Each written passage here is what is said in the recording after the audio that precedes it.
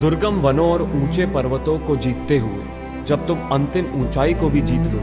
जब तुम्हें लगेगा कि कोई अंतर नहीं बचा, तुम में और उन पत्थरों की कठोरता में, जिन्हें तुमने जीता है, जब तुम अपने मस्तक पर बर्फ़ का पहला तूफ़ान झेलोगे और कांपोगे नहीं, तब तुम पाओगे कि कोई फ़र्क नहीं, सब कुछ जीत लेने में और अंत तक हिम्मत न हारने।